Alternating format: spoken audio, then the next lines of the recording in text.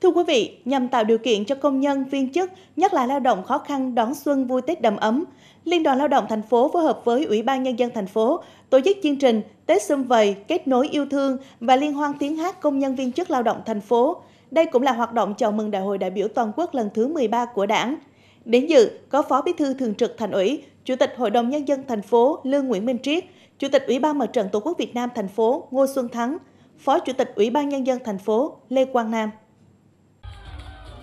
Với phương châm tất cả đoàn viên, người lao động đều có Tết, Chủ tịch Liên đoàn Lao động thành phố Nguyễn Duy Minh cho biết, chương trình trao tặng cho người lao động những phần quà Tết nhỏ nhưng đầy ý nghĩa, góp thêm cùng với gia đình đoàn viên, người lao động đón năm mới đầm ấm và hạnh phúc.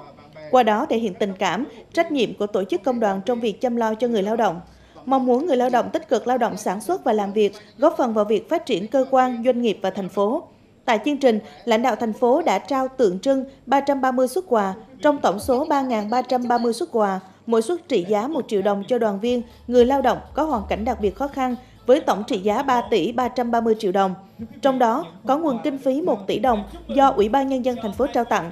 Chủ tịch Liên đoàn Lao động thành phố đã trao bản tượng trưng chuyến xe công đoàn cho đại diện các công đoàn với gần 80 chuyến xe đưa gần 3.000 đoàn viên, người lao động về quê. Lãnh đạo thành phố cũng trao tặng tay các phần quà Tết cho đoàn viên, người lao động có mặt tại chương trình. Ngoài ra, Liên hoan tiếng hát công nhân viên chức lao động thành phố chào mừng Đại hội đại biểu toàn quốc lần thứ 13 của Đảng với 12 tiết mục của 11 đơn vị công đoàn và nhà văn hóa lao động thành phố Đà Nẵng.